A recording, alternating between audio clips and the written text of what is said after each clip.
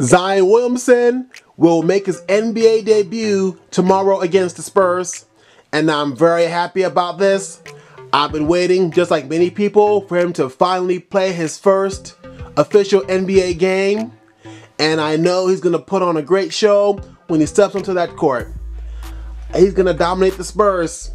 He's going to stuff that stat sheet. He's going to have 20 points, 10 rebounds, 3 or 4 assists, 2 3 blocks, and a steal.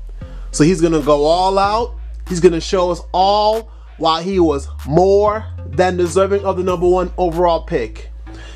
I know he's to give us two or three thunderous dunks. He's to shoot a three.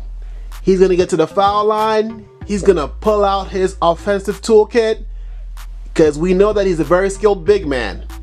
I look forward to watching him play. I don't think anyone on the Spurs will be able to stop him.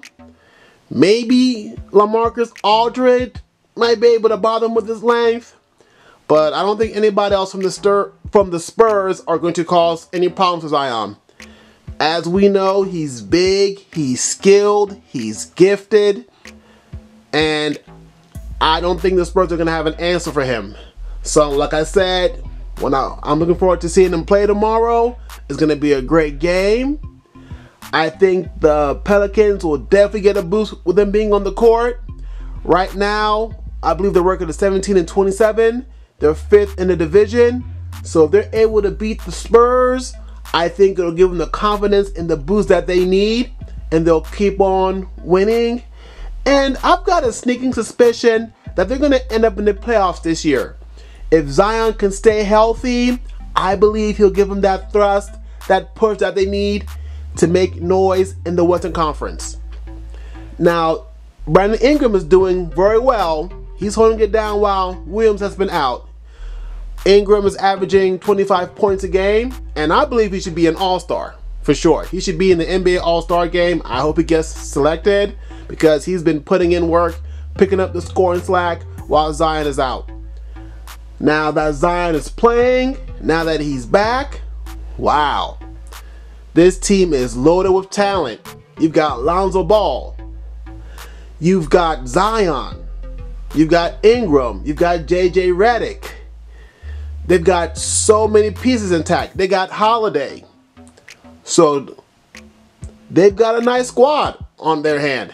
So if the Pelicans can stay healthy, they can make some noise in the Western Conference. It's wide open. I know that everyone's talking about the Clippers and the Lakers, but watch out.